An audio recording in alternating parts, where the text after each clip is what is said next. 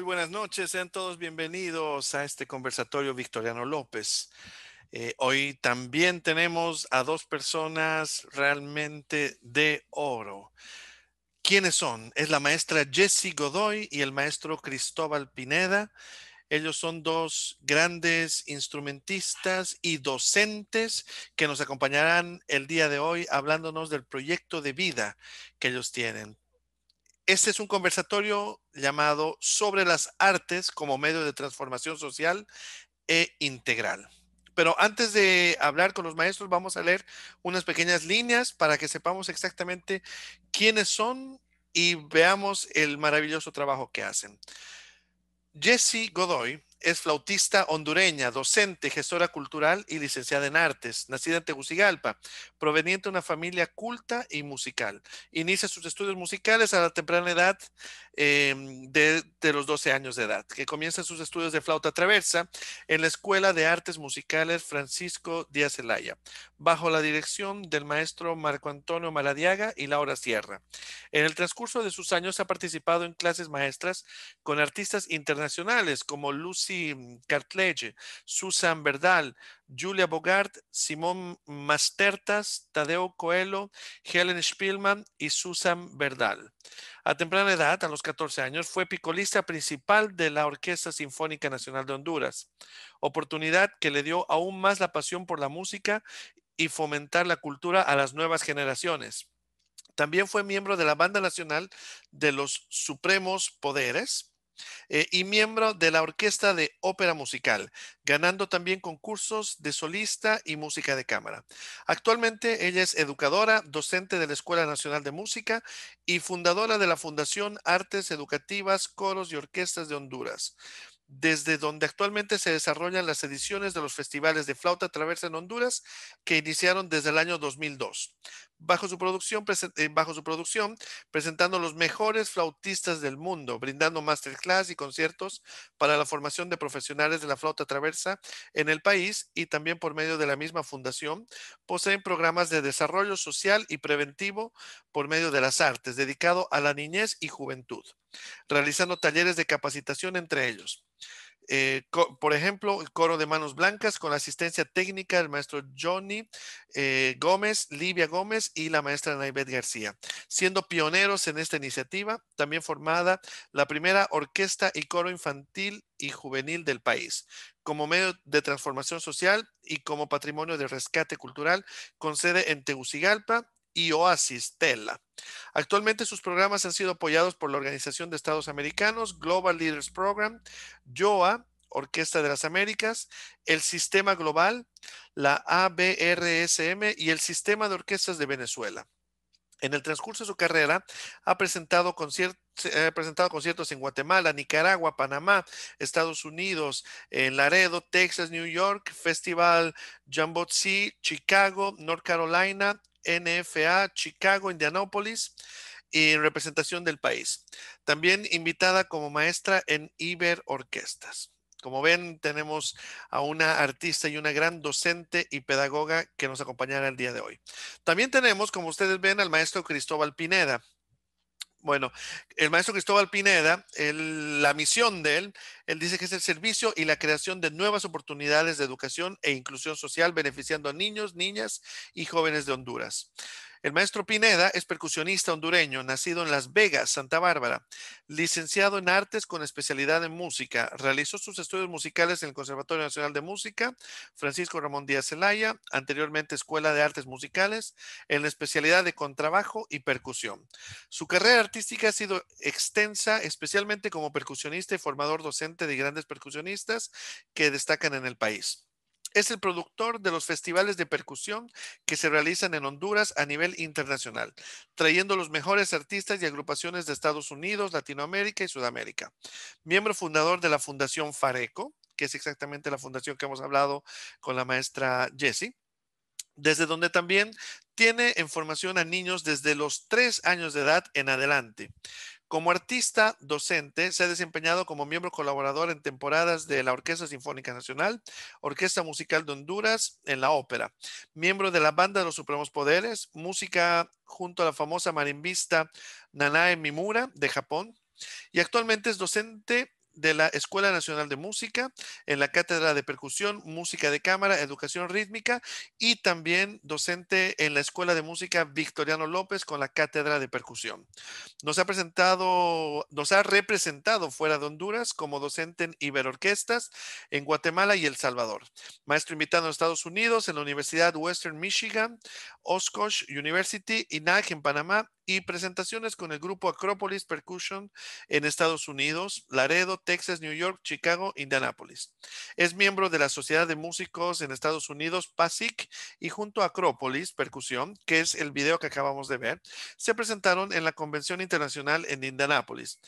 Él es un digno representante de Honduras, eh, justamente, y de Centroamérica. Pues realmente el día de hoy es un día muy, muy, muy, mm, estamos muy honrados de tener estas dos personas y, bueno, muchísimas gracias por la presencia de ustedes, maestros. Muy buenas. ¿Cómo están? ¿Me logran escuchar y ver? Ah, aquí estamos. sí, muy buenas noches. ¿Cómo va? Qué placer. Me da muchísimo gusto pues de tenerlos acá presentes. Eh, un increíble currículum de los dos realmente. Y estamos muy honrados de poder tenerlos el, el día de hoy y poder hablar un poquito más, aparte de lo que ustedes hacen singularmente como docentes y como profesionales, también de este maravilloso proyecto que ya tiene bastante años, bastantes años que seguramente nos contarán, que es esa Fundación Fareco, en la que lo que me gusta muchísimo es, es el, el mensaje que, que, han querido dar. O sea, lo que dice... Eh, las artes como medio de transformación social e integral y leyendo solamente esos pequeños currículums ya nos damos cuenta de que le llega al anillo al dedo este, este título de este conversatorio. Realmente estamos muy contentos. Bienvenido y muy buenas noches. Muy buenas noches, maestro Daniel. De verdad que nos sentimos honrados de estar compartiendo con ustedes y felicitar también a la vez a la Escuela Victoriano López por su aniversario gran trabajo, gran trayectoria, en realidad pues una digna representación de las instituciones artísticas también que tenemos en el país. Gracias. gracias. Gracias, maestro Daniel Montes. Eh, eh, estamos muy honrados de, de, su invitación. Para nosotros es un privilegio poder colaborar, poder hablar mucho, ¿verdad? Asesorar a cualquier persona que desee, pues estamos muy, muy, muy a la orden y entusiasmados, felices. Este día lo teníamos plasmado, eh, preparado, pues, y, alegres de, estar eh, compartiendo con, con, ustedes, con gente de, del extranjero y de Honduras. Eh, muchas gracias, porque realmente de eso, de eso también se trata y creo que eso es algo muy importante y es importantísimo recalcar esto. Eh, sabemos perfectamente la situación en el mundo, pero eh, nosotros, nosotros digo todos nosotros, los docentes, los músicos, yo creo que ninguno se quedó atrás. Todos hemos tratado de hacer muchas cosas, hemos ido adelante. Ahora nos contarán todo el trabajo que hicieron antes y están haciendo y tienen, tienen los proyectos.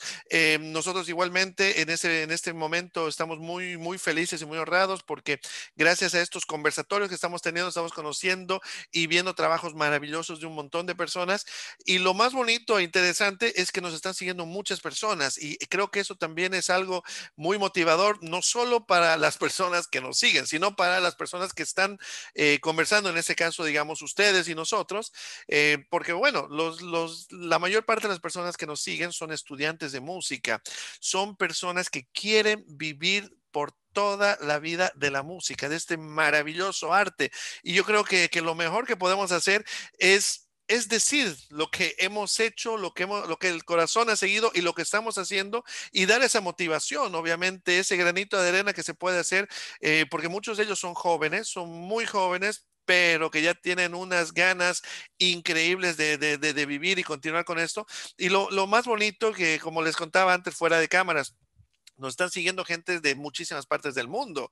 Nos, nos, nos, sigue gente de toda Latinoamérica. Tenemos la gran suerte de, de, bueno, que somos hispanohablantes. Entonces tenemos realmente un público que nos puede seguir tranquilamente. Hemos recibido cartas realmente, no, no, no se puede imaginar. O sea, estoy hablando desde del, del Polo Sur, o sea, desde Ushuaia, eh, toda la parte argentina, Chile, Perú, Bolivia, Paraguay, Brasil, después hasta, hasta, hasta el norte, Canadá y lugares. Y siempre uno de los dichos que me gusta mucho es un agradecimiento, porque cada vez que estamos hablando, estamos conociendo a las nuevas personas, siempre se da alguna motivación y ese granito de arena que, mm, que bueno, nos hace seguir adelante a todos nosotros como artistas. Entonces, creo que ese es un punto importante decirlo, decirlo porque, porque eso tenemos que, que recordarlo, que no solo estamos conversando ustedes y yo, estamos realmente hablando y mostrando de que no obstante tantas situaciones que pueden existir, uno va adelante. Y la frase que nosotros tenemos, porque la música no para, en nuestro caso, eh, que somos músicos, que, que, que, realmente nunca creo que hemos parado. Pero bueno, comenzando con este pequeño conversatorio, si nos pueden contar ¿Qué tal ustedes? Ustedes están en Tegucigalpa actualmente, ¿verdad? Ustedes viven en Tegucigalpa. ¿Cómo ha sido todo este periodo del trabajo como docente, como intérprete, con la fundación? Y un poco si nos pueden contar para que tengamos un poco más de, de información. Bueno, eh, en realidad que ha sido ahorita como de reinventarnos, ¿verdad? Todos buscando, nadie se esperaba eh, cualquier tipo de situaciones eh, que tenemos, pero lo importante es que hemos estado recreando nuestra mente, ¿verdad? Buscando nuevas alternativas para, eh, para sobresalir, digamos, en las cátedras de nuestros, con nuestros estudiantes. Claro. Llevarlos a ellos a que la creatividad ahorita sea parte de ese proceso, ¿verdad? De seguir creciendo. Eh, eso es lo más importante, ¿verdad? Que hemos buscado nuevas alternativas. Obviamente la tecnología nos ha ayudado muchísimo, que no me imagino en años anteriores sin tener el acceso, ¿verdad? Como hubiera sucedido.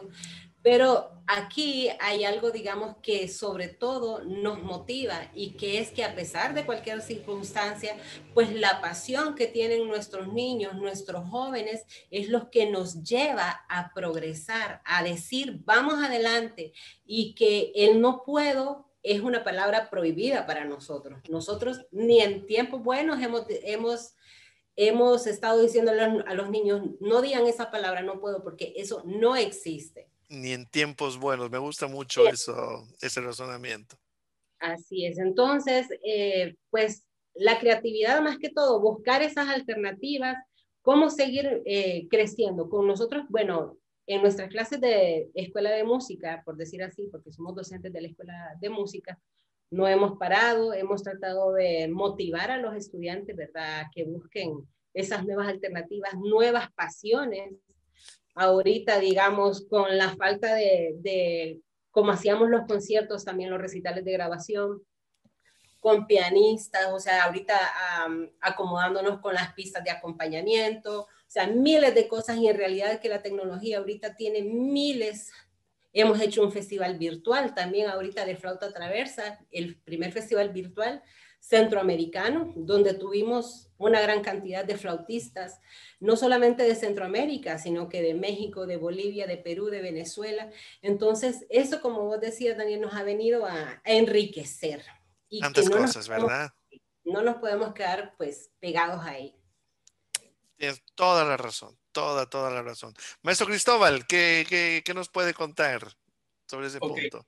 Desde, desde que comenzó esta situación, eh, ustedes recuerdan que esto fue de un día para otro. El cambio fue rotundo. Yo sentí un cambio como, como un bofetón, ¿verdad? Y esta, esta, esta vaina que es, y, y, digo, me quedé así en shock, ¿verdad? Un día en shock y digo yo, ¿qué va a pasar? Bueno, van a ser tres días nomás, va a ser una semana. Y esto fue... 15 días uno creía como máximo, ¿verdad? Sí, fue reproduciéndose más tiempo y había una preocupación. Pero existí, existía siempre en nuestro ser, en nuestro interior, esas ganas de seguir y, y decir, ah, a ver qué cae del cielo. Ah, a ver qué, qué me dicen, a ver qué me dicen las autoridades. No, eso no. Nada. Hay que hacerlo, hay que hacerlo, porque si yo espero de arriba que caiga algo, solo la lluvia me va a caer.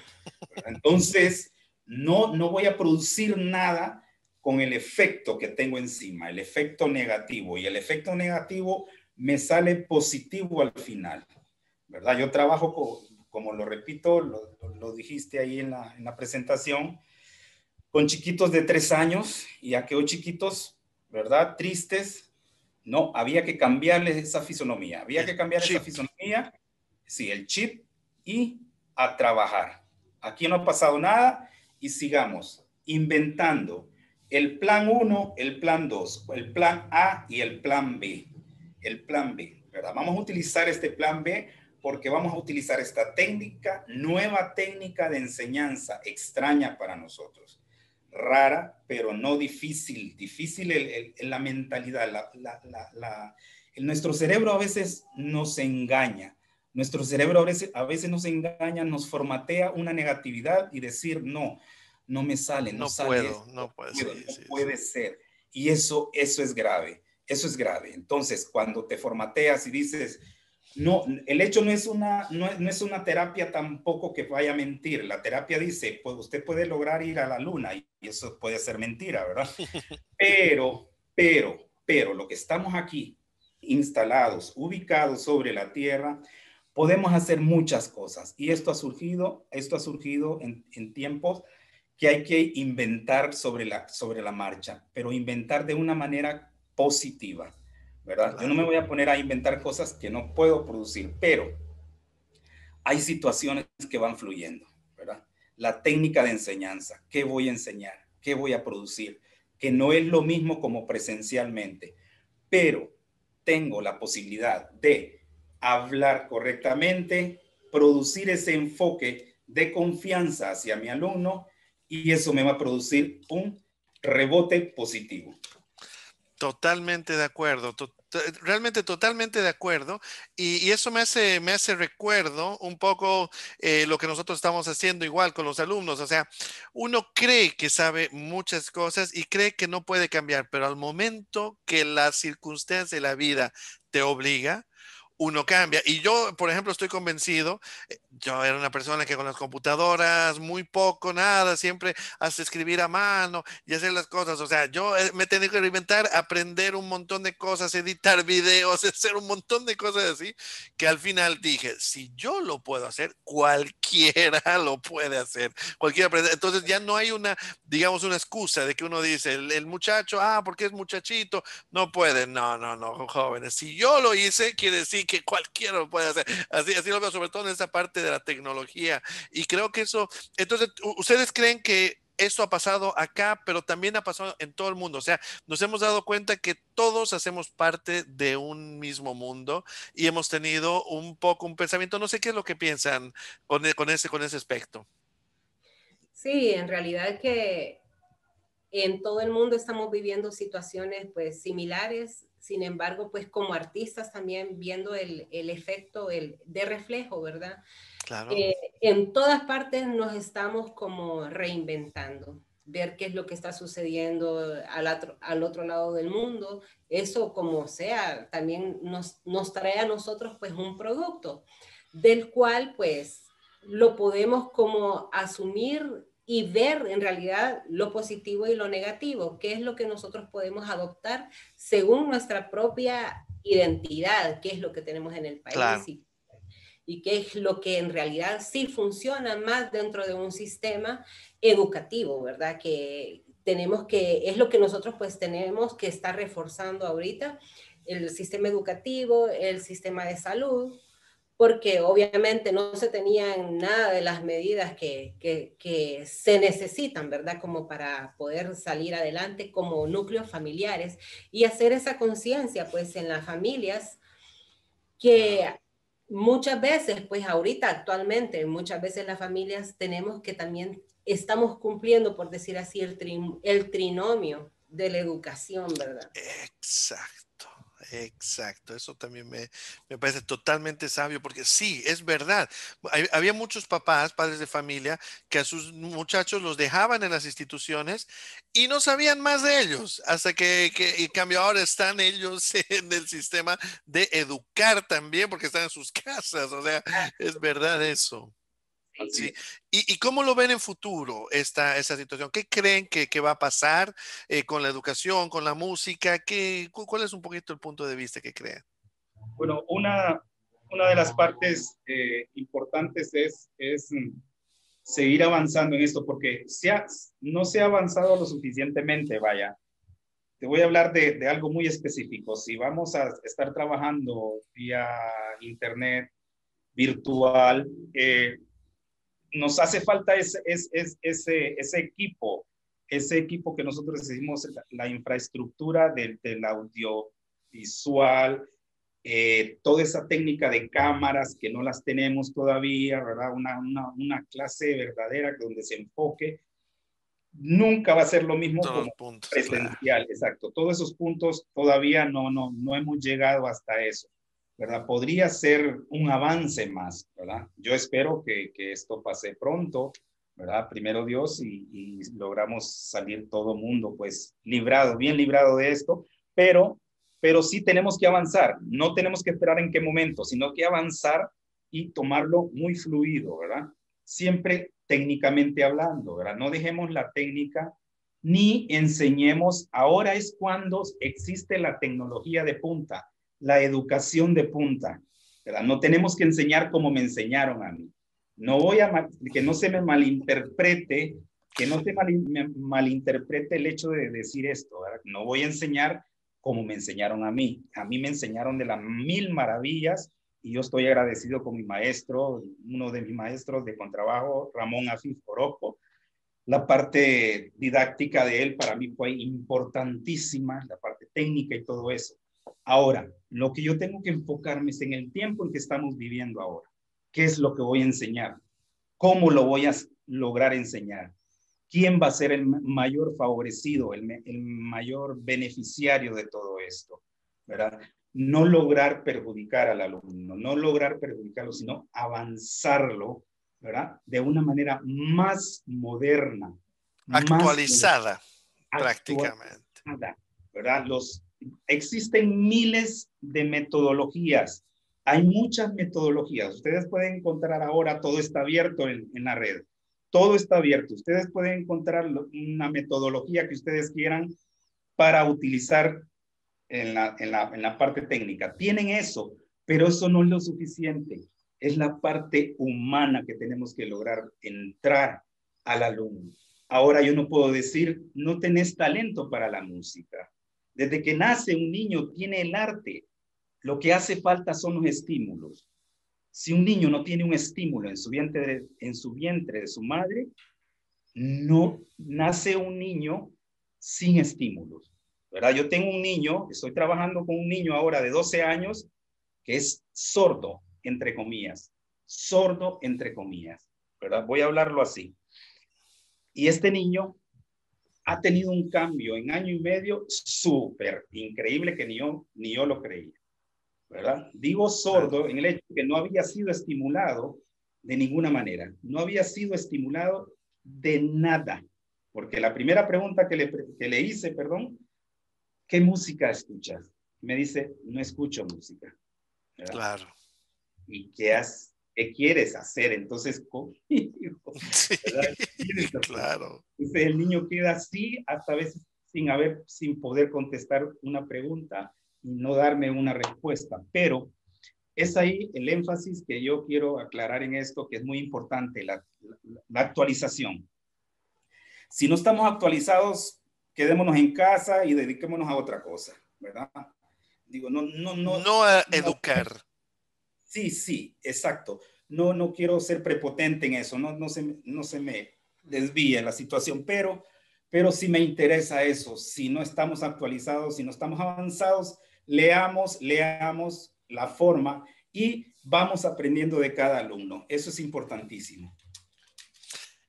Exacto, realmente es, es, es realmente el, el, clavo y me parece sumamente, sumamente interesante todos estos puntos que nos están diciendo y ya, y ya vamos a hablar. Pero bueno, ahora comenzando un poquito, quisiera para que los podamos conocer, eh, maestra Jessie, si nos puede contar un poquito sus orígenes musicales, un poco lo que, lo que ha hecho, por qué está haciendo eso, lo que está haciendo, cómo así escogido la flauta, cómo, cómo ha sido y sobre todo también lo, lo de la educación.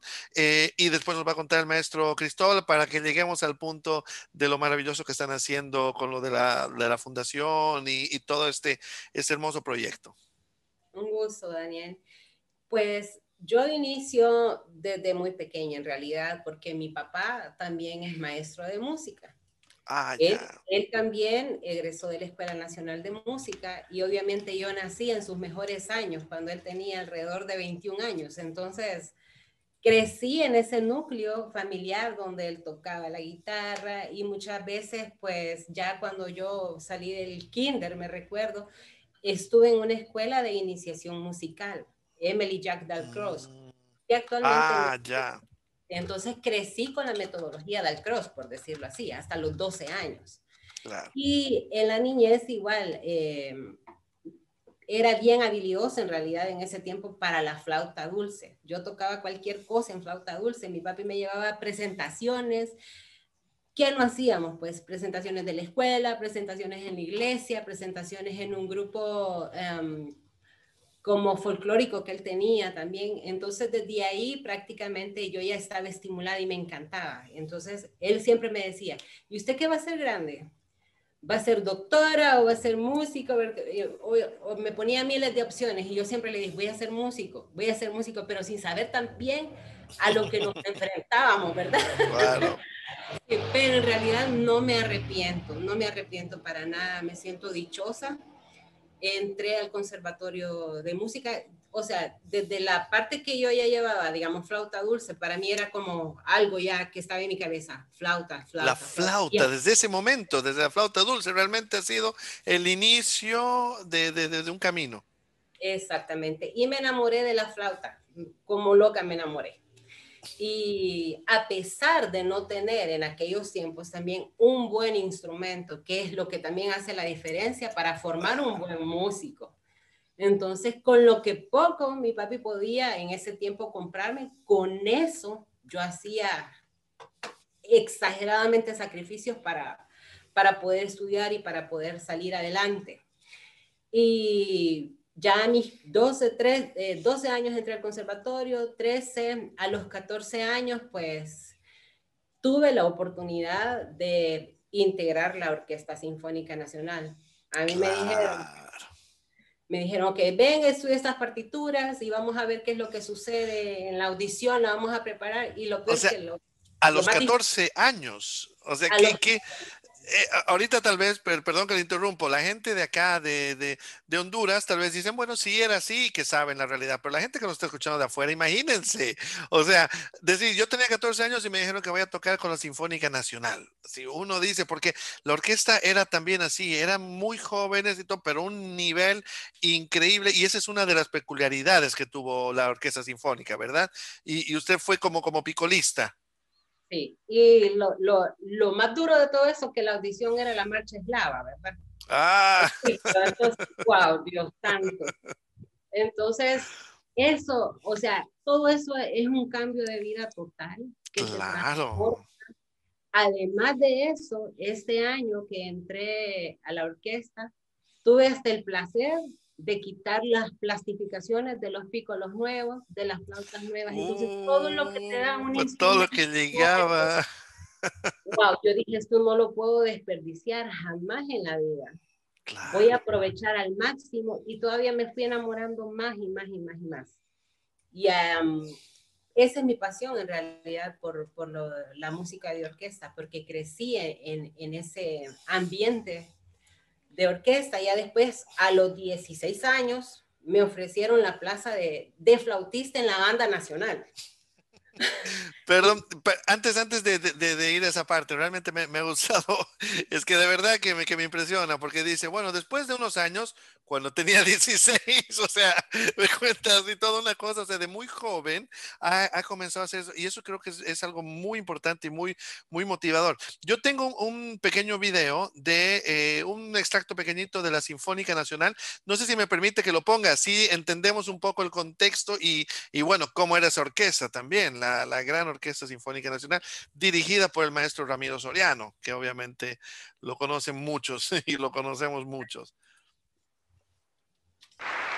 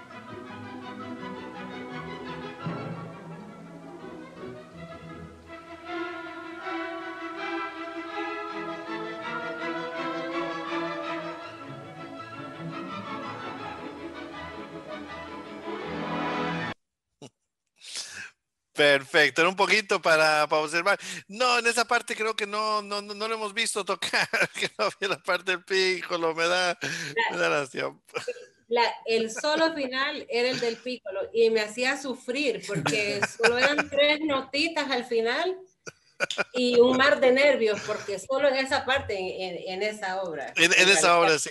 Es, importante comentar que la gente que quiera ver este video está en la página de YouTube de la Escuela Victoriano López, donde pueden encontrar el video entero del concierto de la Sinfónica Nacional, eh, justamente aquí con la maestra Jessie, Jessie presente como epicolista. bueno, adelante, adelante, maestra Jessie. Bueno, eh, como les comentaba, esa obra para mí me hacía sufrir bastante en realidad, porque a pesar de que solo era un compás y tres notitas, cuatro notitas, era bastante exigente. Y yo siempre estaba pendiente del maestro Ramiro y él siempre me, señalaba que estuviera húmedo los labios para que no se me fueran las notas raras por ahí. tremendo, tremendo, pero en realidad que una linda experiencia vivida me siento dichosa y creo que si volviera a vivir, volviera a decidir ser flautista y ser músico. Hacer prácticamente eso, claro, claro, claro.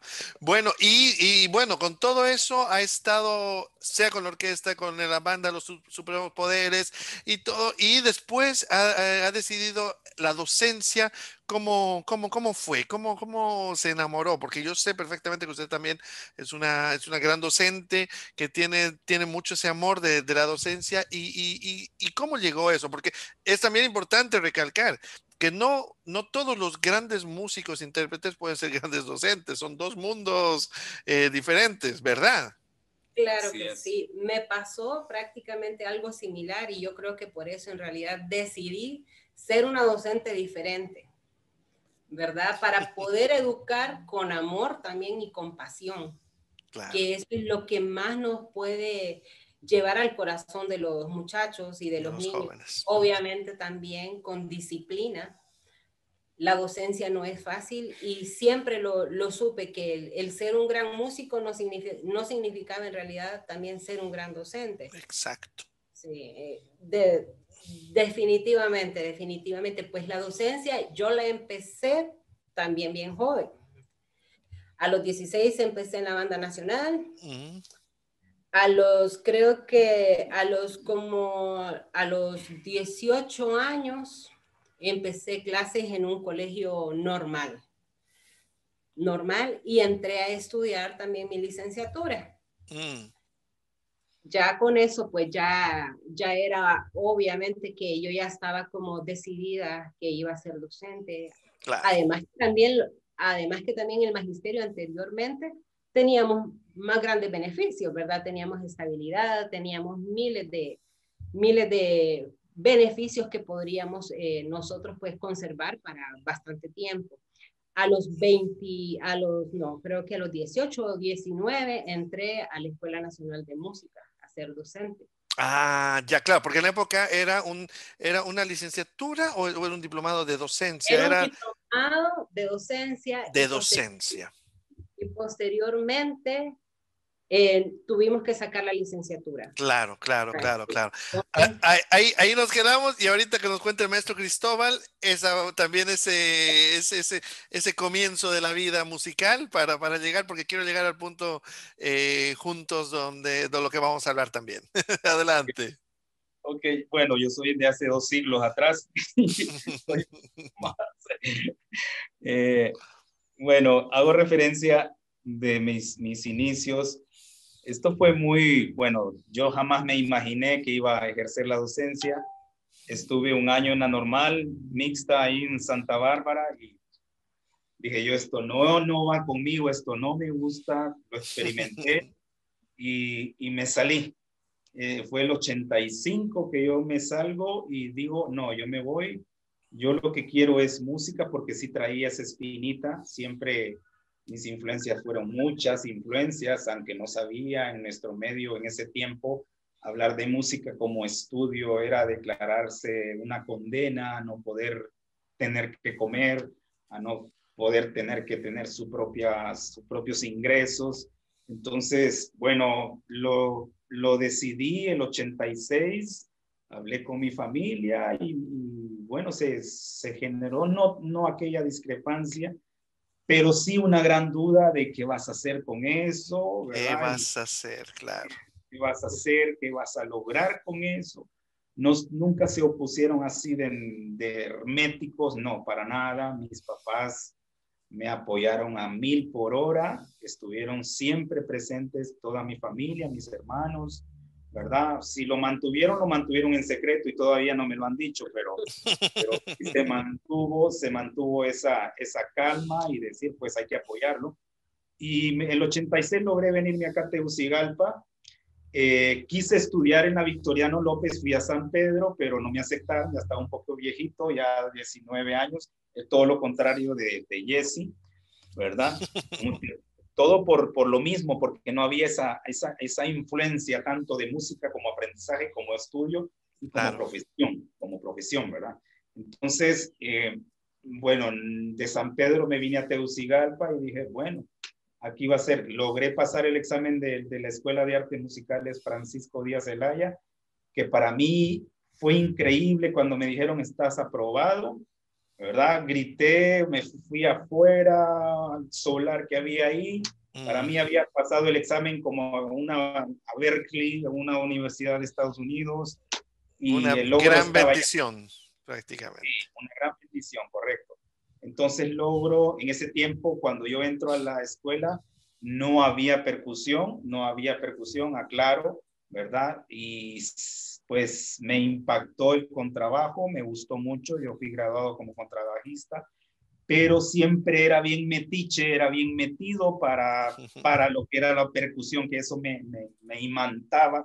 Siempre, claro. muchísimo y eso era tan profundo y, y logré por lo menos, bueno, graduarme como contrabajista, pero sí, en ese tiempo llegó una voluntaria japonesa percusionista, Keiko Hagachi, una gran persona, una gran mujer, una gran percusionista, no tuve la, el privilegio de tener unas millones de clases con ella, ni que me graduara con ella, no fue así, sino que logré por lo menos el inicio, logré que me diera las primeras clases, la técnica de... Base sólida. Sólida. Y, y cuando estaba a lo mejor el 98, que yo iba a seguir con clases con ella, es cuando pasa desgraciadamente el huracán Mitch y se lleva todo el instrumental del eso, la marimba. Eso, eso quisiera que, que, porque lo sabemos, tú, todos, nosotros aquí lo sabemos, pero hay gente de afuera que no sabe. ¿Nos puede contar rápidamente qué pasó con el huracán Mitch y qué sucedió con el conservatorio para que un poquito lo sepamos? Sí, digo desgraciadamente, en ese tiempo había habido una donación por parte de la Embajada de Japón, y de JICA, y del gobierno central. Siempre en ese tiempo, creo, recuerdo el presidente José Simón Ascona, que fue muy cordial con la cultura en Honduras, creo que sí apoyó, en ese tiempo se había donado parte de, la percusión. Y logra, Japonesa. Sí, porque el, edificio, el edificio de las instalaciones de, de la escuela, de, de ahora conservatorio, Em, estaba en la isla, cerquísima del río Choluteca, cerquísima. Y ese río se volvió un inmenso mar, que yo lo miraba como, como mar, ¿verdad? Por la intensidad de, la, de, la, de las lluvias. De las lluvias. Y, y aquella se desbordó y cosa que no se miraba en las instalaciones. No se miraba y todo aquel instrumental quedó debajo del lodo, la arena que traía toda la, la correntada de agua y, otros flotando, yo viendo las noticias y viendo una batería que recién se había donado, que iba río abajo, río abajo. Aquello fue un trauma también que pasó en, el, 98.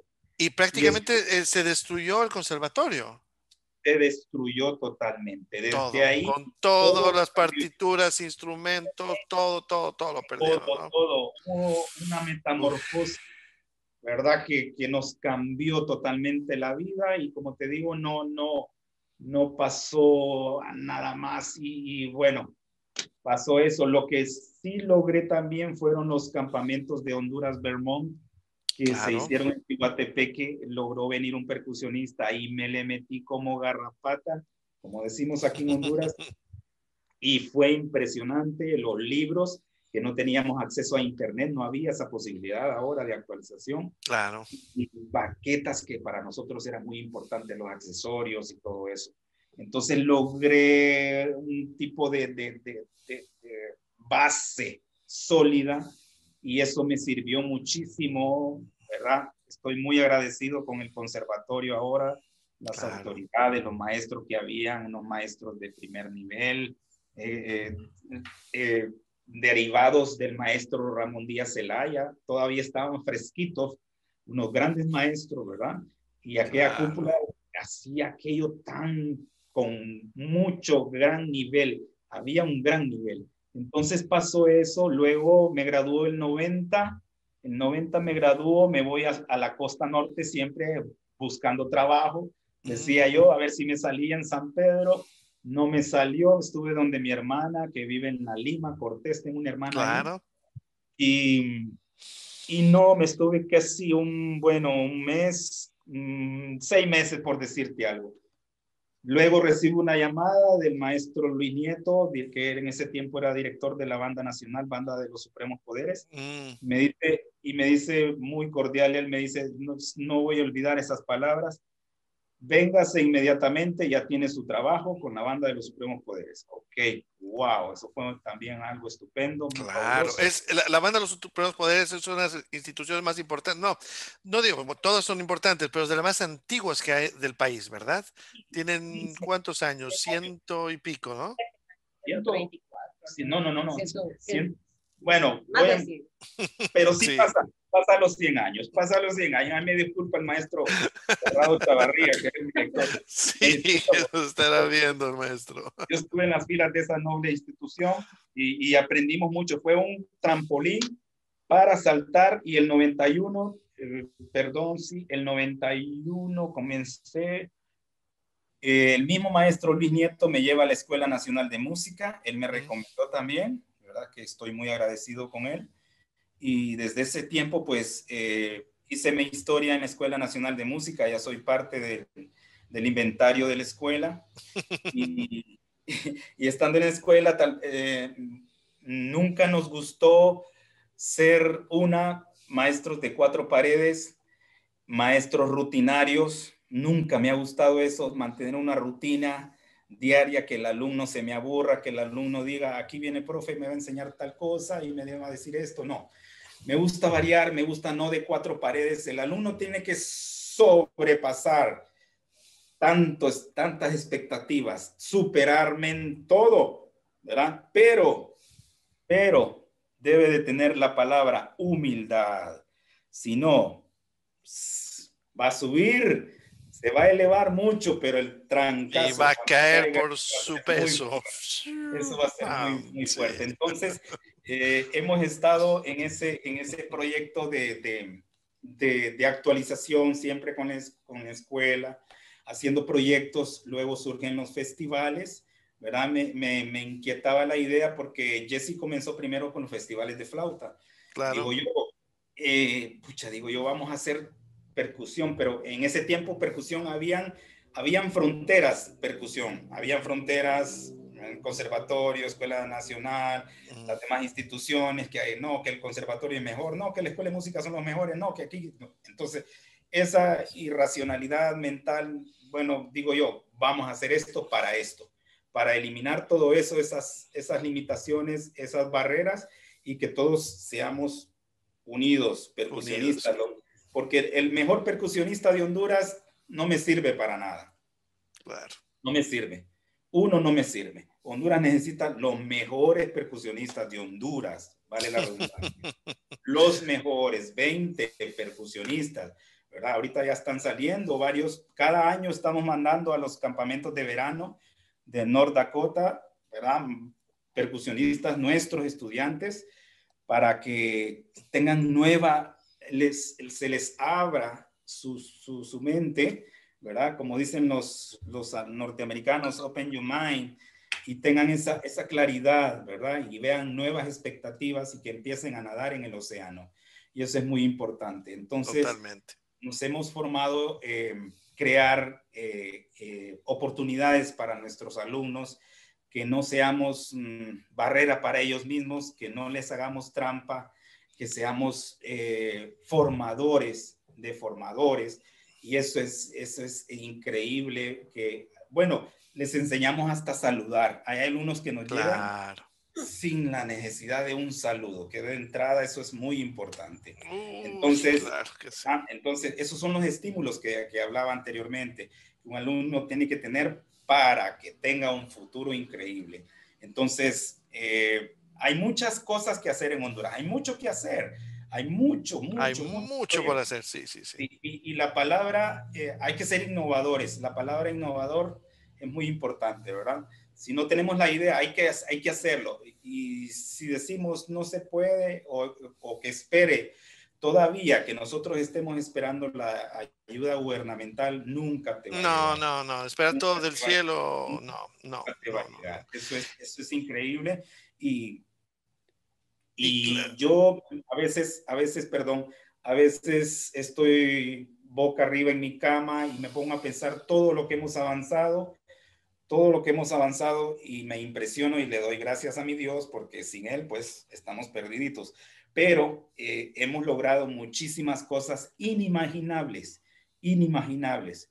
¿verdad? Hace poco en las masterclass tuvimos una de las mejores masterclass con el maestro Don Famularo y él es, aparte de percusionista, es un gran, él, hace terapias, terapias mm. ocupacionales.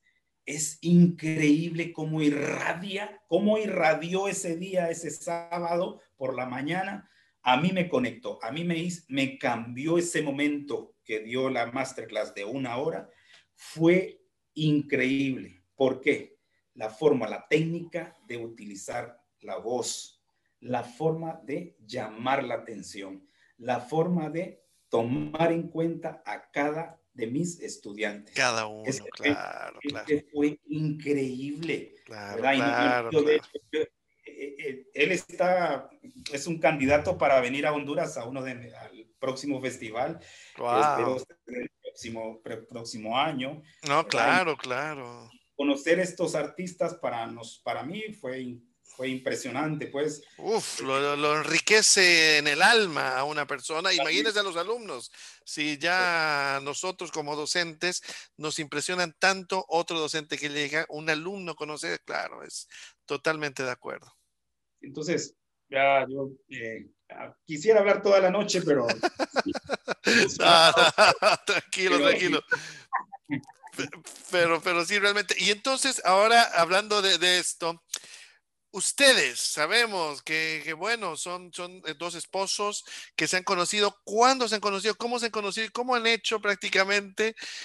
Este, es, esto lo, del sueño, lo lo, lo, de Fareco, que eso también ha sido, es, es, me imagino que ha sido un sueño que se volvió realidad, por, porque sabemos las cosas que, que, han sucedido con esta fundación, con los sueños que han tenido y cómo, cómo se está moviendo, cómo saliendo adelante. Es impresionante y da, eh, da muchos estímulos de, mm, a, a todos para, para, saber cómo realmente, yo les soy sincero, yo he visto lo que ustedes han hecho, hemos estado y, y nunca están quietos, como se dice, siempre sé que están haciendo una cosa y otra y, y, y viajan y traen gente y todo. Eso es, es algo muy positivo no sé si nos puede contar este, este punto y qué es la Fundación Fareco. Ok, nos conocimos en realidad en el Conservatorio de Música. Ah, ya. Yo entrando al conservatorio y él como en cuarto año. Ah, hay más o menos tercer año de diferencia entre eso. Y después seguimos siendo compañeros, pero ya como parte de la banda de los Supremos. Ah, ya, como colegas, claro. Estuvimos 10 años en la banda y fuimos 7 años novios. Mm, claro. estudiamos igual juntos en la, en la Universidad Pedagógica con los diplomados. O sea, aparte de ser novios, fuimos compañeros de colegio, fuimos compañeros en la universidad, en todos nuestros estudios y compañeros de trabajo. Muchas veces la gente decía, oiganme, y es que ustedes no se aburren. ¿Cómo hacen? Todo el mundo nos decía, ¿y cuando se van a dejar de ver? Si, si las 24-7 prácticamente, porque estudia, trabaja. Bueno, esa, esa es como la, la primera etapa de nosotros. Estuvimos 10 años, 11 años en la, en la banda nacional y al pasar ya directamente que estábamos trabajando en la escuela, mi maestra, eh, que fue mi última maestra, por decirlo así, que oficialmente tuve, mi maestra Susan Berda, ella me dejó a mí totalmente motivada y yo me preocupaba, en realidad yo decía, Dios, ¿qué, voy a, qué va a pasar si ella se va? ¿Cómo voy a seguir enriqueciéndome con mis estudiantes? Pues porque ya tenía un un, un compromiso educativo. Yo decía, tenemos que seguir evolucionando. Ahí todavía ni, ni había tanto acceso al Internet como lo hay ahora. Y ella me mandó prácticamente a un primer festival de flautas a Costa Rica, donde era también otro mundo ver tantas, tantos flautistas tocando en un coro de flauta, ¿verdad? Claro. Sí, y así ella me dijo, tenés que ir, me dijo, a, esta, a, este festival. A ese festival me llevé a mis primeros alumnos de flauta y nos fuimos manejando con Cristóbal en un carrito chiquito para poder motivar la primera generación de flautistas. Eh, me lo llevé al festival. Y obviamente también fue una revolución, ¿verdad? Porque ¿por qué se llevan los alumnos? ¿Por qué van aquí? O sea, todo lo miraban mal, ¿verdad? A pesar de que uno lo que quería era nada más, pues, trabajar para la motivación y poder traer también el país y engrandecer también nuestras instituciones. Pues cuando ella se va, ella fue becaria Fulbright por dos años y logramos extenderlo medio año más y le estoy agradecida porque me dejó marcada en realidad, con mucha pasión, con muchas ganas de seguir adelante en realidad. Pues en el 2000, en el 2002, 2001 ella se va, creo, y fue cuando nosotros quedamos prácticamente, ¿qué va a pasar de aquí? ¿Qué va a Entonces empecé a trabajar prácticamente escribir un proyecto. Yo dije, algo se me mm. tiene que venir aquí. Empecé a escribir, ok, tenemos esta necesidad, necesito que, que mis alumnos sigan creciendo, dar lo mejor de parte de mía, ¿verdad? Como educadora a mis estudiantes. Se formó el primer encuentro centroamericano, solamente vino ella, porque ella era, era, un, era para mí era un homenaje a ella en agradecimiento en el 2002. Claro. Y así se fueron haciendo los festivales anualmente. Después ya... Desde el 2002, casi 20 años prácticamente, 18 años. ¡Wow! sí.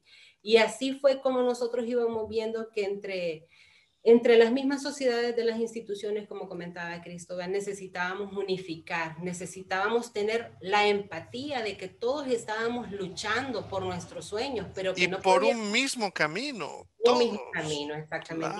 Y, no, podíamos estar trabajando como islas. Yo quería mantener todo prácticamente, que todos tuviéramos las mismas oportunidades, que todos pudiéramos crecer, en base a bases fuertes técnicas, en base a la unidad, a la unificación y sobre todo que era parte también de ser, de ser integral, porque el trabajo colectivo y el, eso te ayuda para, para trabajar ante una sociedad, ¿verdad? Claro, claro, claro. Entonces, em, esos eventos se hacían prácticamente como docente en la Escuela Nacional de Música. Y después empezaron los festivales de percusión, ya empezamos a unir también el gremio de percusión y para nosotros pues era la gloria, ¿verdad? Tener alumnos de diferentes lugares e incluso hemos tenido estudiantes de Panamá, de Guatemala, de El Salvador, norteamericanos que también venían como voluntarios, maestros, o sea, nosotros hemos llegado a crecer en esa parte muy rica. ¿Cuándo se formó la fundación? La fundación nace en el 2013. Ah, ya. Sí, o sea, después de todo, de toda la evolución, todo ese trabajo que hicieron, de todo ese desarrollo formal. Ah, ya, ya, ya. Y se funda por el mismo objetivo, que ya no podía ser nada más actividad institucional, porque nosotros queríamos que en realidad fuera una fundación para poder apoyar a todo el gremio artístico, jóvenes, porque nosotros tuvimos oportunidades, pero no había nadie que nos apoyara en ese caso, como decir, ah, ok, lo vamos a mandar a un campamento para que se capacite. Nosotros estamos mandando estudiantes a los campamentos del, del 2010 aproximadamente, 2008, 2010. Y ninguna institución a la hora de la hora se quiere ser responsable, pues, de... Claro, claro. Por los gastos y toda la cosa, claro, claro, claro. Exactamente. Entonces, pues nosotros, por eso, por brindar esa oportunidad a estos chicos. Nosotros hemos donado instrumentos, hemos donado, bueno, zapatillas de ballet.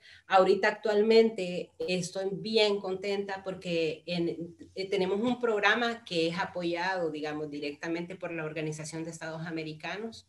Claro. Y, del cual, pues ahorita tenemos 80 ah, niños beneficiarios con un programa prácticamente virtual, porque nos han donado 80 tablets y se ha comprado todo un paquete de internet para todos esos niños. Ah, qué bien, claro. Entonces es prácticamente una revolución. en Tegucigalpa es eso. Eso es en Tela, en el programa. En Tela, el programa Oasis, claro, claro, claro. El cual en realidad nos sentimos súper dichosos de ser parte, ¿verdad? De, orgullosos. Y hace parte de, la OEA, ¿verdad? O sea que, eh, claro, la OEA les, les apoya, pero esto es un, un, proyecto de ustedes, de la Fundación Fareco. Bueno, yo creo que nosotros apoyamos todo, toda esa parte. claro. Apoyamos, pero en realidad eh, la Organización de Estados Americanos es, como por decir así, el, mero mero del proyecto, ¿verdad? Claro. nosotros somos colaboradores. colaboradores que están apoyando y todo. Mire, mientras, mientras continuamos eh, hablando sobre esto, ahora me gustaría mostrar algunas pequeñas imágenes, eh, fotografías, y me parece que es prácticamente un poco el trabajo, y vamos hablando tal vez un poquito de las fotos para, para llegar un poquito al, al punto, ¿les parece? Claro. Correcto. Ok, aquí estamos con esta fotografía. Aquí estamos. Perfecto, claro, aquí están ustedes. Ellos son, claro, el maestro Johnny Gómez, la maestra Naibet, que es del coro de Manos Blancas de, Venezuela, que ustedes han sido prácticamente los pioneros, ¿verdad? Ahí era, fue prácticamente también una revolución loca para nosotros, pues. Claro. En realidad nosotros pues no tenemos ayuda gubernamental, todo lo hacemos prácticamente con esfuerzo propio. Y cuando para mí siempre he sido como fascinada de lo, que, de lo del sistema. El sistema de Venezuela, claro que sí. Claro y en el, en el 2009 tuve la oportunidad de, de, ir a ver sus conciertos, sus ensayos. No conocía a Daniel, a Johnny, perdón, y a Naibet, pero en realidad venía todavía más apasionada queriendo tener algo en nuestro país, algo similar, algo que tuviera esa forma integral, colectiva, un trabajo musical desde la niñez y la juventud para impulsarlo. Es, importante recalcar qué es el, coro de manos blancas y qué es el sistema de, educación eh, especial, ¿verdad? Educación musical especial, que no sé si, si, nos puede, mientras voy pasando las fotos, nos puede decir un poquito qué es esto, porque por la gente que no sabe. Claro, claro. Eh, nosotros pues aquí el, el, sistema de coro de manos blancas está compuesto por personas con algún grado de discapacidad y se une eventualmente con jóvenes regulares, ¿verdad? Y eso es para nosotros ese taller de capacitación del cual nosotros fuimos beneficiarios y además que también lo extendimos a universidades. Fue grandioso, una experiencia maravillosa que también fue parte de nuestra vida, pues. Claro. muy emotivo ver cómo todos estos niños pueden eh, involucrarse y los hemos tenido prácticamente aislados en nuestra sociedad. Es eso lo que pasa en, nuestras sociedades, digo, si en Latinoamérica generalmente se ve algún niño que tiene alguna discapacidad y, que automáticamente es separarlo y, eso es totalmente eh, erróneo, ¿verdad? Y se ha demostrado con la educación. Totalmente. Claro. Sí, es integral en la sociedad. Todos somos iguales, pero también tenemos nuestras eh, individualidades y nuestras cosas, sean positivas y negativas, o sea, nuestros, en todos los puntos. Y, bueno, vivimos en sociedad y es muy importante eso, el trabajo, como en esta maravillosa foto también. Ustedes están aquí con niños que cuatro añitos deben tener. O sea, es, es, algo, es algo bellísimo e integrarlos a todos ellos.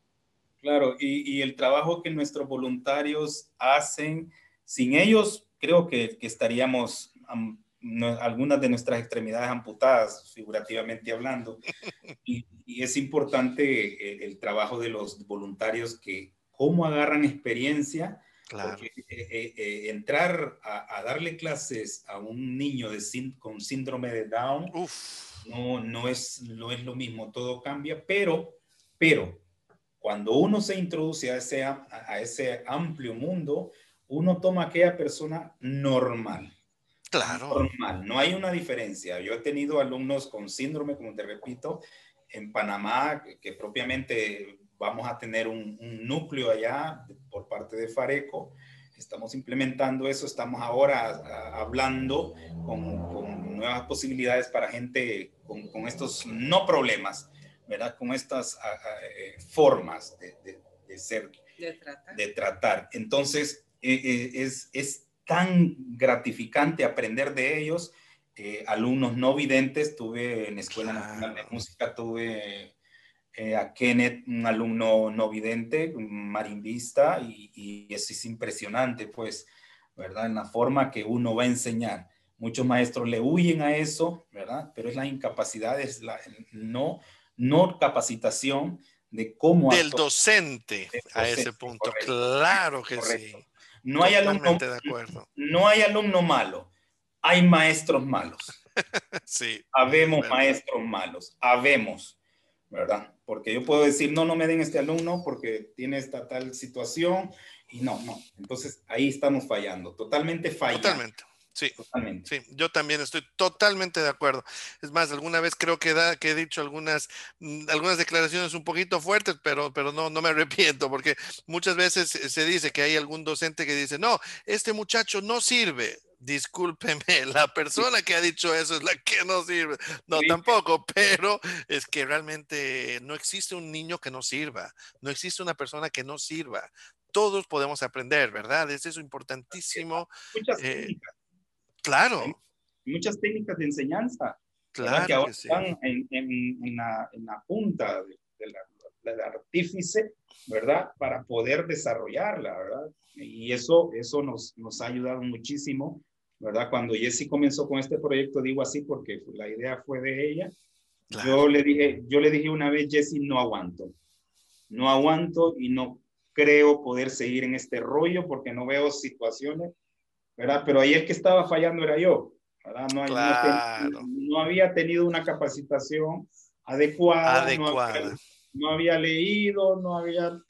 Y ahora disfruto, ahora la reacción de un niño de tres años aprendiendo es increíble, es increíble. yo no y yo doy fe, perdón que lo digo, pero yo doy fe. Cuando mi hijita tenía un año y medio, tú le diste una clase de 10 minutos, creo, y comenzó a hacer unas cosas que yo me quedé con la boca abierta y que, que dentro, dentro de poco realmente, creo que ahora mi hija tiene cuatro años, yo quiero que, que, que, la veas y que vaya adelante, porque en 10 minutos, cuando tenía un año y medio, ha hecho algo que yo nunca creía que lo podía haber hecho. Entonces, eso también, doy fe.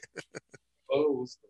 No todo, yo digo que todo lo que la música nos da es un mundo maravilloso. Totalmente. o sea, no sabemos el gran, no, lo, no es que no lo sabemos, sino que no somos capaces de poder valorar que es un es algo grandioso, es, una, es un valor extra que tenemos dentro de las familias, dentro de las comunidades.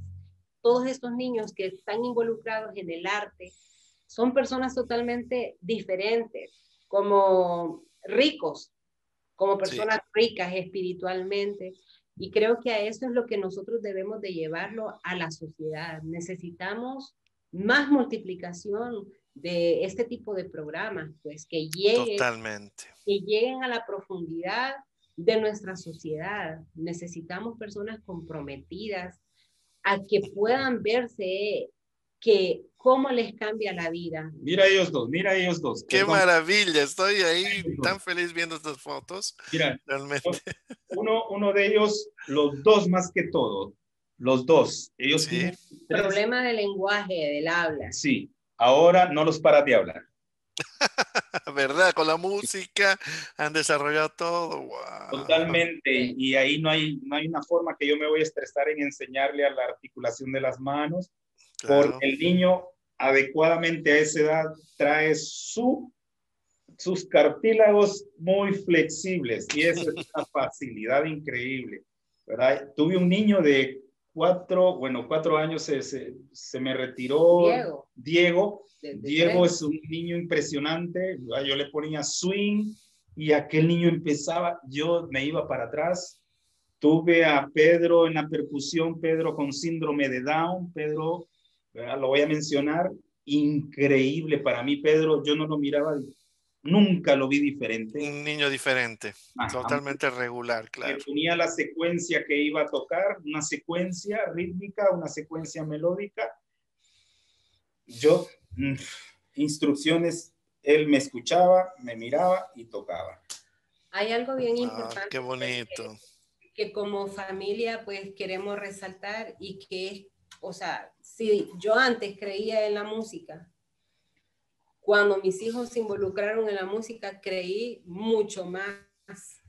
Claro. Porque las habilidades que ellos van desarrollando son totalmente grandiosas.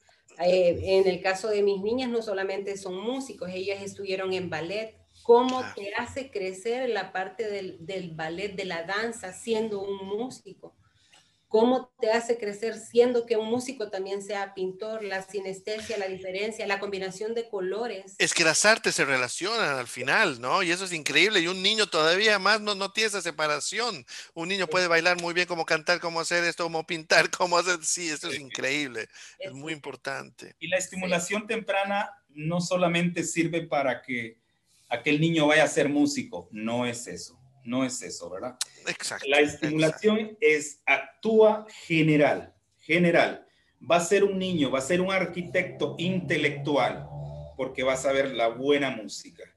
Va a ser un doctor intelectual y podría ser un político intelectual, no Totalmente. como Necesitamos políticos ahorita que por lo menos involucren a sus hijos. Sí, sí, sí. No, y, y, uno de los puntos es ese, si uno, eh, la educación, la educación de los niños, pero también tenemos que educar a, a todos, a todos. O sea, hasta también hay que educar al político para que aprecie lo que se está haciendo, ¿verdad? Porque, porque al final está en sus manos también el país y, lo que mejor que podemos hacer es eso, el futuro, claro. Es, es, un, es un, conglomerado que necesita educación total. Totalmente. Yo, hablaba, la, la, la, vez pasada teníamos reuniones con el gobierno, íbamos a hacer un proyecto increíble, ¿verdad? Y les decía, aquí hasta la prensa está fallando, ¿verdad? La prensa está fallando porque me, ah, yo he tenido la experiencia que me han hecho entrevistas y el, y el, periodista no sabe de lo que me va, de lo que vamos sí, a hablar. Sí, sí, sí.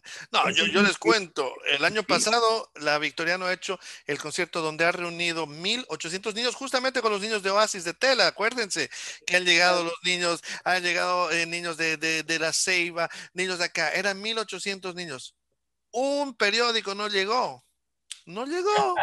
Al día siguiente, nada, las noticias y uno dice, un coro, o sea, algo que realmente era espectacular, que, real, que cualquier país, muchos países, eh, todo el mundo diría, pero mira lo que se están haciendo aquí, muchos los de aquí no supieron que ocurrió eso y en cambio con, el, con, los, con las redes sociales, muchísima gente de afuera sabe lo que está ocurriendo acá y muchos de aquí no, eso también es, es increíble, ¿verdad? O sea, es, es, es sí, es factor importante de, mejora, que, que, al final lo que tú dices, no podemos esperar que venga del cielo, nosotros tenemos que, que hacer, que llamar, que educar también como a todos, a todos los que se pueda, no, no quiero decir que somos omnipotentes, pero tenemos que estar conscientes de que ahí también tenemos que ir, no, no, las cosas no, no se mueven solas, ¿verdad? Realmente, no, maestra Jessie, maestro Cristóbal, realmente un gran placer. Estamos hablando, estoy viendo ahorita, hay muchos saludos, eh, muchos mensajes. Por ejemplo, Manzanares Tinoco Rigoberto dice: Saludos a nuestro querido paisano y colega Cristóbal Pineda y su esposa Jessie Godoy. Dios sigue usando sus vidas en su proyecto Fareco en el bienestar de nuestros niños de Honduras. Qué bonito. Eh, Después, eh, bueno, Johnny Martínez, saludos maestros y amigos, Jesse Cristóbal y Daniel Montes. Saludos. Después, Arlen Mesa igual dice, saludos maestros, que le pone con los corazones, que sea una alumna nuestra, una persona, uff, maravillosa, gran, gran música, gran docente igual. Eh, Enrique Rodríguez, saludos a los maestros, la profe Jessie y el maestro Cristóbal, grandes docentes. Después Magda Sánchez, lo mismo. Saludos, maestra. Un fuerte abrazo a los dos. y, y, bueno, hay un montón también. La maestra Denisa Rivas de Munguía. Saludos a Jessy y a Cristóbal. Y pone corazones. Pero no, qué, qué, qué bonito, qué bonito. Estamos acá con todas las personas. Otro dice una pareja hermosa que inspira a los jóvenes artistas de nuestro maravilloso país. Qué bonito. Felicitaciones. Dice. Bueno, realmente es, es algo muy importante recalcar lo que están haciendo. Muchas felicidades y muy agradecidos de poder tenerlos acá con nosotros en este, en este momento que pasó, que para mí yo me quedaría otras tres horas más, pero miren, pero vamos a tener tiempo y ojalá que no sea la, la última vez. Eh, y cuando tengamos ya la oportunidad de vernos presencialmente, por favor, o sea, eh, quisiéramos tener más acercamientos, no solo con ustedes como ustedes, sino también con la fundación, con la Fundación Fareco, que estemos en escuela, Escuela Victoriano López y todo, tratar de, de, realmente trabajar para los jóvenes, que creo que ese es uno de los sueños y una de las metas de, de, de todos nosotros, de todos los docentes, ¿verdad? Eh, claro. Quería antes de terminar, eh, les voy a hacer el último ciclo pequeñito de preguntas. Estas preguntas les gustan mucho a los alumnos, entonces no les he querido decir para que las piensen lo que viene directamente a la mente y respondan inmediatamente sin pensar mucho. Bueno, vamos adelante. Entonces, comenzamos entonces, primero uno y uno. Entonces comenzamos con la maestra Jessie y después me responde, y la segunda pregunta, y así, ¿ok? maestra Jessie, ¿cuál es el primer recuerdo de su infancia? chinear a mi hermano, el de en medio, que ya no vive. Mm, ese es el lugar. Bueno, qué bonito, qué bonito. Maestro Cristóbal el haber construido mis primeras baquetas de, de unas ramas de, de, de, café y golpearlas contra un, contra un dron, un dron que le llamamos o tonel que le decimos, y le di vuelta y empecé a sonar, eso fue maravilloso para mí. Y ese es un recuerdo, qué bonito, qué bonito, qué bonito. Ahora, maestro Cristóbal, ¿a qué artista de espectáculo le tuvo muchísima admiración y fue casi como un amor platónico? No importa actor, músico, no sé, quién sea. Yo, bueno, la primera influencia que yo tuve en, mi juventud, en la adolescencia, fue, bueno, el rock, ¿verdad? Y uno de, mis bateristas favoritos fue, bueno, fue em, Alex Van Halen, un baterista mm increíble, ¿verdad? Como, vaya, me, me, caló, porque como te digo, en ese tiempo no teníamos mucho acceso nosotros y en mi pueblo tampoco, ¿verdad? Como decir, vaya, entra todo y voy a conocer de todo, ¿no? Todo había lo que, claro. había influencia de rock y, del buen rock en ese tiempo, ¿verdad? Claro. Y me fascinaba muchísimo. Y, Alex Van Halen. Alex Van Halen, para mí increíble. John Bonan también, ¿verdad? Otro baterista perfecto para mí en, en sus tiempos. Entonces, me caló mucho. Perfecto. Maestra Jessie. Bueno, para mí, eh, el que admiré desde pequeña, que tenía como 12, 13 años, fue William Bennett y posteriormente Emmanuel Pajou. Una de mis inspiraciones. Perfecto, perfecto. Ahora, maestra Jessie, ¿en qué momento histórico te gustaría vivir? ¿En qué momento? Creo que me, me, encantaría el barroco.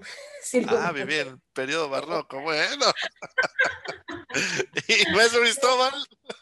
Pues es que me quitó, para mí el barroco, para mí el barroco es, es lo más impresionante. Yo vivo el barroco toda, toda mi vida, desde que lo escuché la primera vez ese periodo para mí me, ha calado muchísimo el barroco, hasta cuando enseño las, las obras transcritas para marimba, cuando las enseño, yo tengo que darles ese color, ese color como del cello, ¿verdad? Como por decir algo, la, la suite de, de Bach, que es para mí, uff.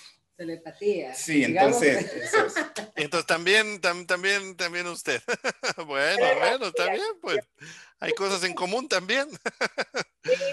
Maestro Cristóbal, ¿qué profesión cree que no es para usted o qué trabajo cree que no lo podría hacer? Híjole, la arquitectura. No podría ser arquitecto. Bueno, puedo ser arquitecto en la música, formar, y, me gusta mucho la arquitectura, sí. Bueno, una, mi hija Valerie, que es flautista, ya decidió que va a estudiar arquitectura. Arquitectura. Eso me fascina, me, me, me gusta muchísimo. Pero no, no lo puedes hacer. Creo que no lo podría hacer. Perfecto. Maestra Jesse. Ah, me hicieron pensar un montón de cosas, pero en realidad lo que no, dice, no desear hacer es exhumar cadáveres. Uy, sí, claro. Bueno, bueno. ¿Qué profesión no, es lo, esa es la pregunta, perdón. Eh, maestra Jessie, si podría ser una persona por un día, ¿quién sería? ¿quién sería? No sé, quizás algún ministro con poder de cultura para transformar en realidad y ponerle cada proyecto de coros y orquestas y artes en todos los departamentos. todo lo que se pueda. Sí, en todo lo que se pueda. Perfecto. ¿Maestro Cristóbal? Difícil. Oh, Gandhi. Gandhi, por un día, saber que realmente qué habrá, cómo habrá sido ser Gandhi por un día. Bueno. Cristóbal, ¿qué animal serías y por qué? un, siempre he admirado el, oso, el oso blanco. ah. siempre lo he admirado. El oso polar, ok. El oso polar, sí, eso, eso. Me fascina. bueno, maestra Jessie. En mi caso, amo los colibríes porque traen paz, trabajan en silencio y demuestran su belleza por sus colores, sus plumas, la, la, la vibración. Ah, y le gustaría hacer perfecto. Ahora, esta, esta ya para los jóvenes, y creo que es tan importante porque vamos a ver dos cosas diferentes. Em, si nos puede aconsejar tres obras cada uno, el top tres que deberían aconsejar a los, a los jóvenes, a los, a los estudiantes, que deberían conocer. Tres obras. Ok. Para mí, vamos a ver em, la primera de Mahler. La Sinfonía 1 de Mahler. Titán, maravillosa, sí. Eh, la siguiente, amo Schubert. Me encanta Romeo y Julieta. Em, y vamos a ver de qué otra obra me encantaría. Eh, sobre los conciertos prácticamente del periodo clásico de, la, de Mozart.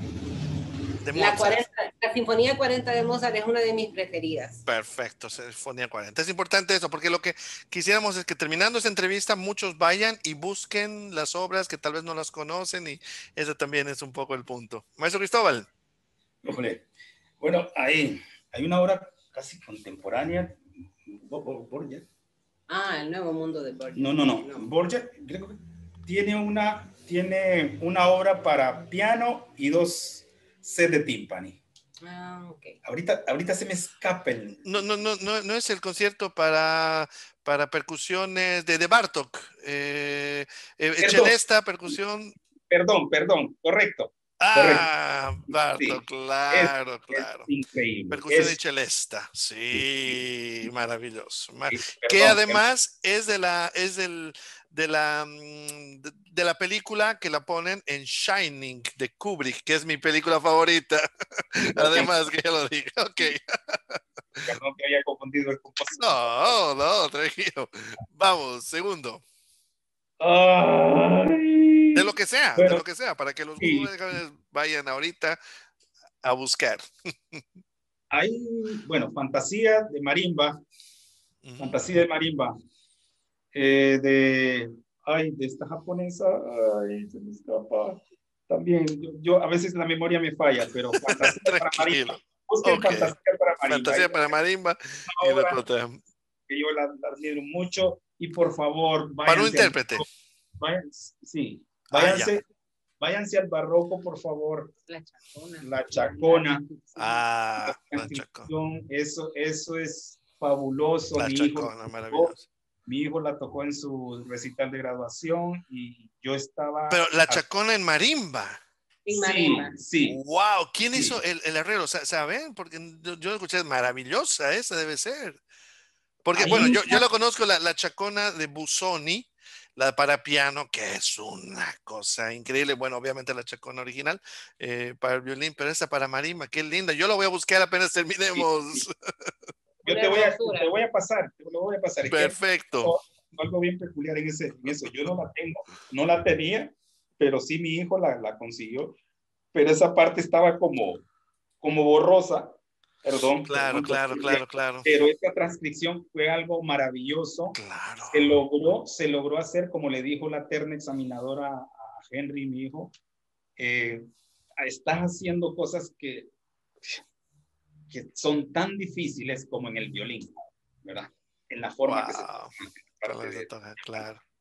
Es una obra increíble. Chacona la, chacona de Bach, pero para marimba. ¡Wow!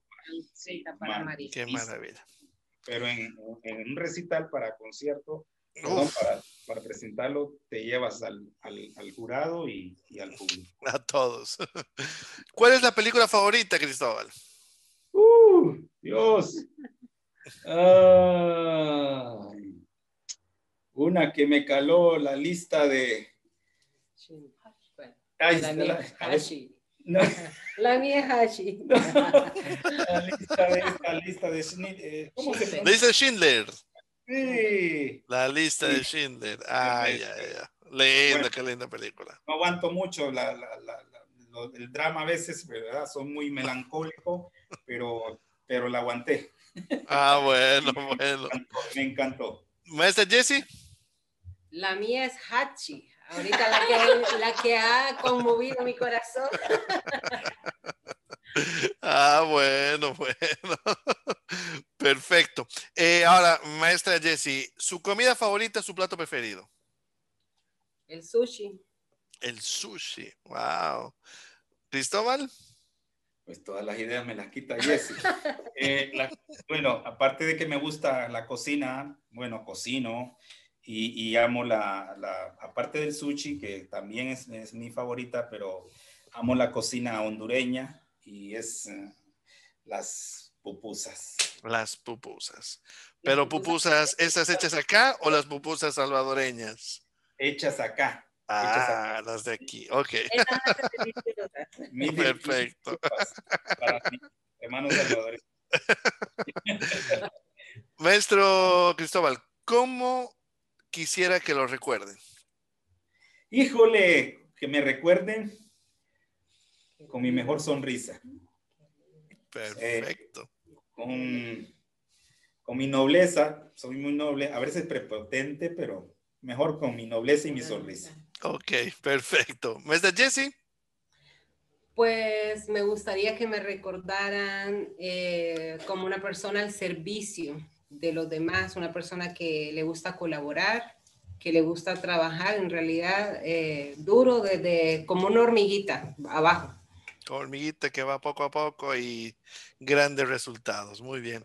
Nos pueden contar si quieren una o cada uno para terminar, una historia cómica que les ha pasado en su vida, en su trabajo, en algo que lo podamos compartir con los, con los jóvenes que nos están escuchando, con las personas que nos están escuchando.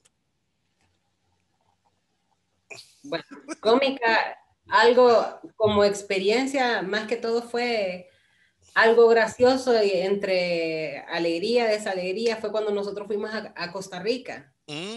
En un carrito chiquito íbamos como cinco, o seis personas y se nos arruinó el vehículo de venida. Nos tuvimos que quedar mm. dormidos en la frontera, en parte con miedo, pero también gozando de la gran aventura que habíamos pasado.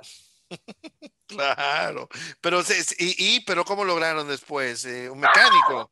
Mecánico, mecánico en Nicaragua. Ah, bueno, bueno. Cristóbal, ¿tiene una más? Si tengo una que, me recordó y hasta sentí lo mismo que pasé en ese momento. Fue una vez en un, concierto en, el Teatro Manuel Bonilla, eso pocos se dieron cuenta, pocos se dieron cuenta. Eh, se me había caído una baqueta, se me cayó una baqueta. Mm. Antes de, de, de, mi, de mi intervención, me agacho, en el momento que me agacho, mi pantalón de tela se ha roto de lado a lado, de lado a lado. Entonces, yo sudé porque mi pantalón Entonces, no tuve, caminé como un cadete, no, pero no, no tanto levantando el pie, sino como un como un muñequito. Esa, esa, es una, pero también le pasó una vez una, una graciosa que quiso quitar el pelo y se pasó la máquina él solo y se dejó un hoyo en la cabeza. Al siguiente día era entrega de cartas credenciales en la presidencial. ¿Y qué ha hecho? ¿Y cómo? ¿Aquí, aquí estás en la otra parte o qué? No, me, puse un parcho como que me había golpeado la cabeza. Bueno, sí, hay cosas que pasan y bueno. realmente un, un grandísimo placer. Solamente quisiera compartir este pequeño reconocimiento que, se los, que se los vamos a mandar. Dice, Fundación Filarmónica San Pedro Sula, Escuela de Música Victoriano López, otorga el presente reconocimiento a la maestra Jessie Godoy en agradecimiento por su valiosa participación y gran aporte al conversatorio sobre las artes como medio de transformación social e integral. Y como estamos en este, en este periodo y estamos diciendo en este marco, porque es una hondureña de oro, dada en la ciudad de San Pedro Sula el 23 de octubre del 2020. Y es exactamente lo mismo para el maestro Cristóbal, eh, solamente bueno con el nombre, porque es un hondureño de oro. Muchísimas gracias por habernos acompañado, un placer grande y realmente espero que nos veamos realmente pronto, pronto, pronto. Bueno. Claro. Gracias, Daniel. Saludos Muy honrados, Muchas gracias a ustedes. Pues un saludo grande y vamos a estar ahí en contacto. Para despedirnos, eh, visto que estamos en este marco, vamos a poner la canción de Guillermo Anderson en mi país, mostrando imágenes de este maravilloso país, que son imágenes de Fernando Aparicio. Bueno, con eso nos despedimos. Hasta luego. Todo lo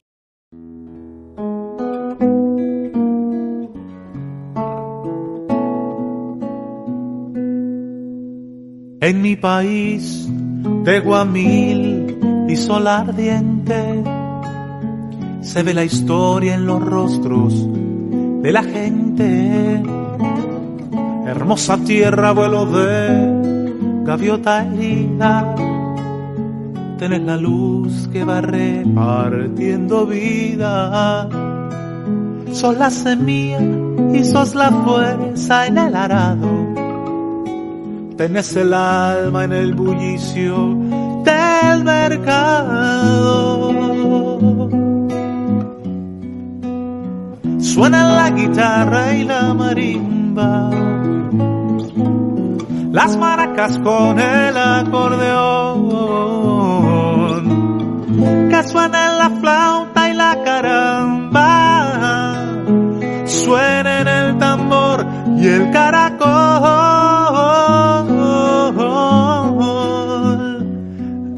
País, rumor de mar, selva y quebrada, está en el sabor de la naranja y la guayaba.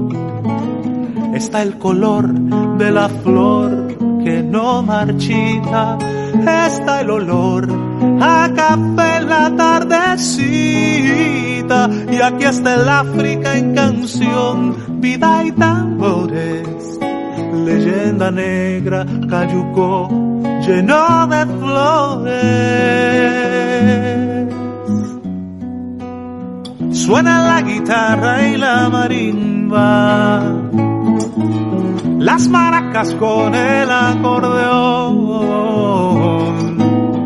que suena la flauta y la caramba, suena en el tambor y el caracol para quererte el corazón mío no alcanza, pero esta luz multiplica la esperanza en que la selva no combata el fuego sola y que la espina se convierta en brasa bola.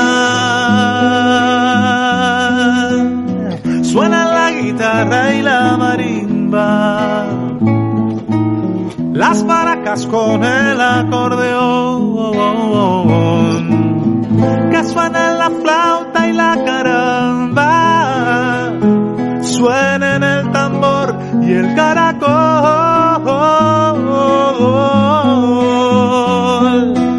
Suena la guitarra y la marimba